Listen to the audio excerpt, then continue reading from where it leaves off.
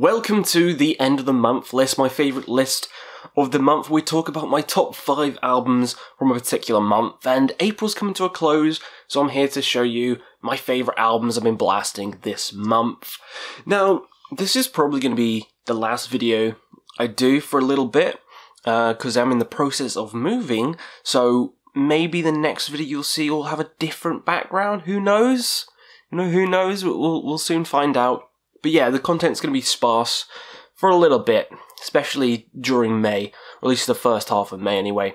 But that out of the way, let's get in with the actual good stuff, the reason why you're here, and let's talk about the albums from this month that I really enjoyed. So, again, like all my other videos like this, pop down below your favourite albums, the ones you've been blasting this month, so I can read them because it's fun to explore new bands, you know, ones I've missed, and maybe I'll find something new to love that might be on my end of the year list. So pop down in the comments below and let's get started with my number five, which is a band I've mentioned in previous years, and that is Ignea, which is this progressive metal band mixing in some symphonic flares, but it's mainly progressive metal. So let's give it a whirl.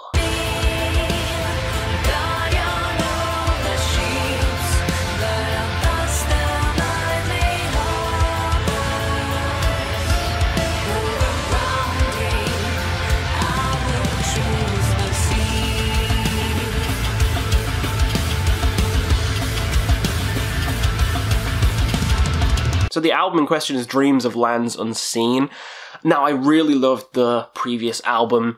I thought it was fantastic. You know, mixing in the heaviness with the beautiful singing, and this album is no exception. It does it just as good. You know, sometimes even better on this one. I love, love the catchy choruses, love the singing. The keyboards in this are fantastic as well. Love that mix, love that harmony between the harshness and the beauty because it has the growls in as well as the beautiful singing. So it really reminds me of like Epica, probably one of my favorite um, progressive metal bands of that nature.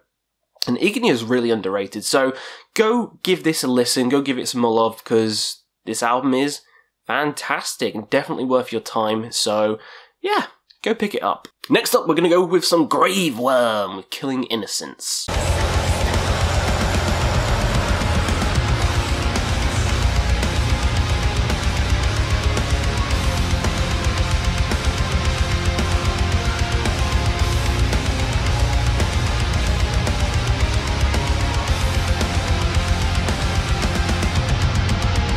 Graveworm, a band I haven't really talked about on the channel, but we will do a ranking in time, and they're so good at just making these crunchy, chunky riffs. Like, my god, the riffs on this album, killer. The growls, so satisfying, so low, just mouth-watering. This whole album is thick with atmosphere, thick with sound.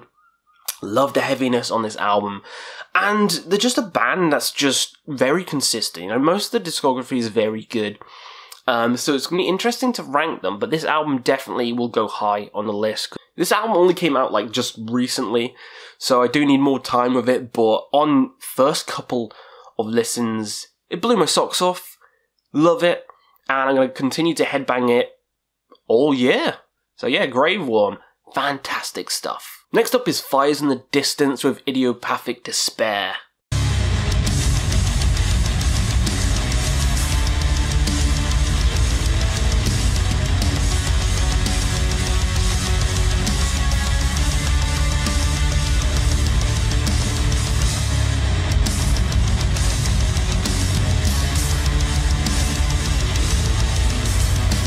Now, this is another band I've mentioned before.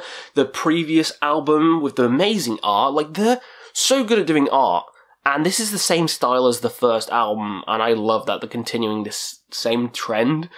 Um, but yeah, I've talked about the previous album when it came out, and it blew my socks off, you know, for a newer band like this to release something so good. And they followed it up with something even bloody better. What? This is for fans of Be'lakor. This is for fans of Insomnium. That kind of like moody, progressive, uh, death metal, like melodeath kind of stuff. It's so good. They do it so well. The growls on here, amazing. The beautiful parts, the beautiful segments of the songs, perfectly complements the harsh heaviness. and it just oh, it works so well. Like this might even go higher, but it came out again like Graveworm quite recently. You know, like the last two days, and I need a lot more time with it. So it's only coming here for the moment. But you know, the end of the year list, I'm going to listen to it a lot more, so it might rise higher. Really enjoy it, need a lot more time with this album. So it's going to come here at number three at the moment, but just know it's so good, I think it will rise. It'll rise, I know it will. So coming in at number two, we have Metallica. Metallica really rocks, really rocks, with 72 seasons.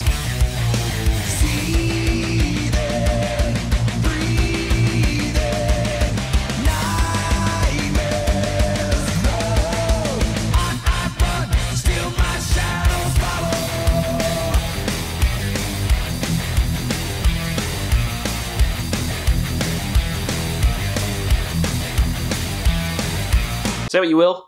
Um, there's a lot of people either on the oh, it's boring, I don't like this release, to the opposite side of the spectrum where it's the greatest thing since sliced bread. I'm not that naive. I don't think it's as good as, you know, Master of Puppets or Ride the Lightning, but I've been playing this a hell of a lot. I gave it quite a high score, like a 7 out of 10 or 8 out of 10. And yeah, I pretty much like every single song on this album aside from probably one. And yeah, that's it. I've been blasting this constantly. Revitalized my love Metallica. I'm gonna be seeing them in a month. I I love the catchiness of a lot of these songs. Uh, Room of Mirrors is fantastic. Inamorata is an amazing, epic way to close the album. That's one of my favorite Metallica songs I've done in recent memory. Lux Æterna is a great thrasher. Screaming Suicide is fantastic as well. And yeah, Shadows Follows, one of my favorite songs of the year. So, yeah, the fact I've been playing it constantly since it came out shows you that it's good. I don't care what anyone else says. It's on my list. It's coming here at number two. So, it only leaves one number one, and if you know me, you already know what this is going to be. Let's talk about Bell Witch's Clandestine Gate.